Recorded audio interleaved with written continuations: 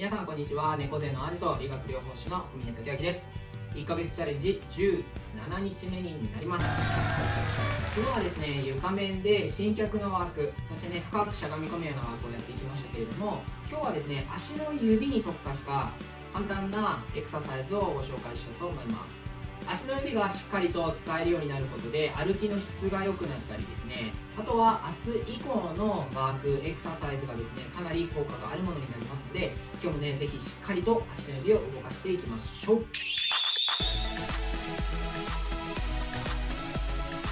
それでは今日はね椅子に座った状態でやっていこうと思います。左足の上に右足を乗せていただいてこのようにねあぐらをかくような形にしましょう。そして手の指を足の指のね間に挟んでいただいたらフリーになっている右手で右足の内くるぶしから指4本分上のポジション。そこからさらにぐるぐるぐるっと回した足の裏側ですねふくらはぎ側を少し親指でギュッと押すような形でここで左手で右の足首を回していきましょう。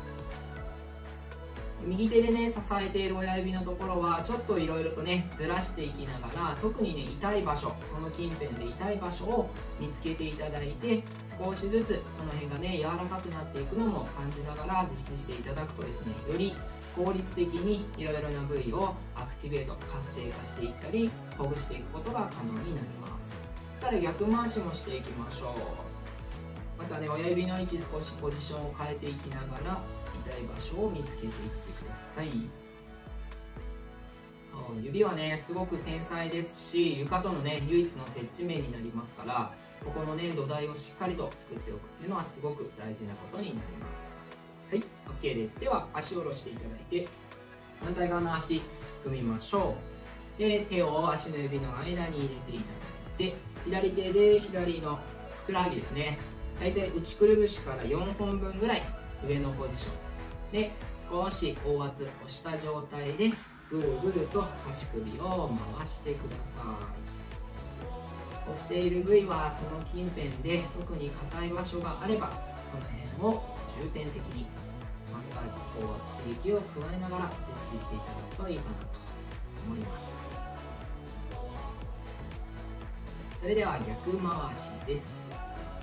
だんだんね回すのを大きく回していってくださいね。右と左やりやすい方やりにくい方をね少し感じていただきながら特にやりにくい方はですね普段あまり使えていなかったりとか動かし慣れてない方になりますのでしっかりと時間をかけてやっていただくのが本当にいですね。はい OK です。ではゆっくりと足を下ろしましょう。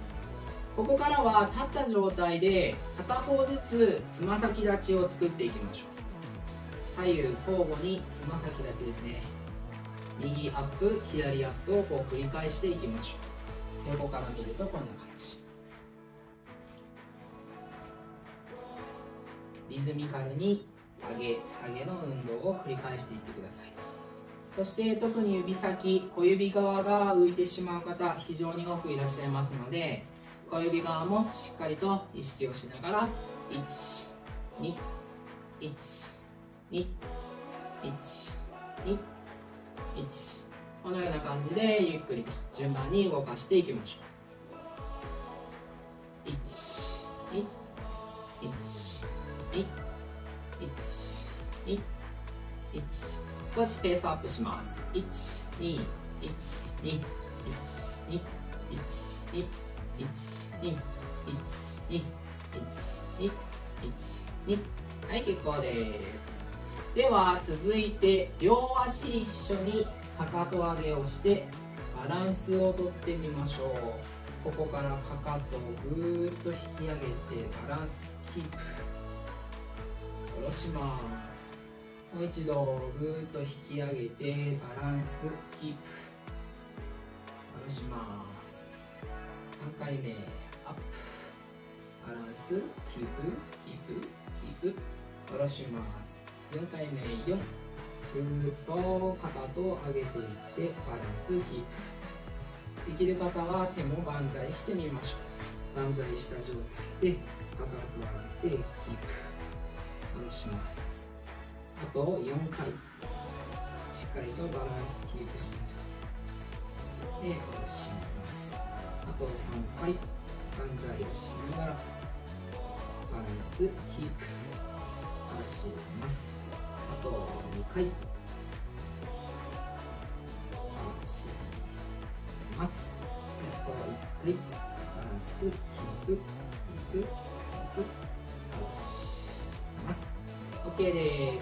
今度はですね逆に足の指をギュッと丸めた状態で体重をかける練習ですね。足の甲を前にぐーっと押し出すようなイメージ。これは両足でやるとすごくね体痛めてしまうので必ず片足ずつやるようにしてください。足の指をしっかり曲げて足の甲を前にぐーっと押し出すようなイメージです。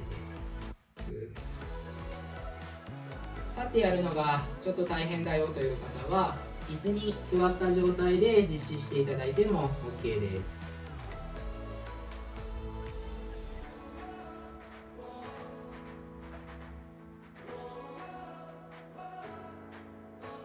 続いて外側に足を倒し小指側も曲げていくようにしましょう。反対側の足も同様に行っていきます。外側に体重をかけて小指側も曲げていきましょ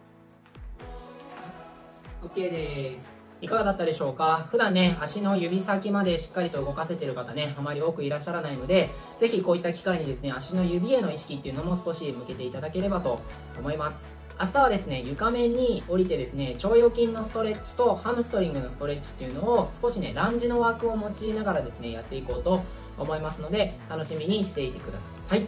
それではまた明日の動画でお会いしましょう。またねー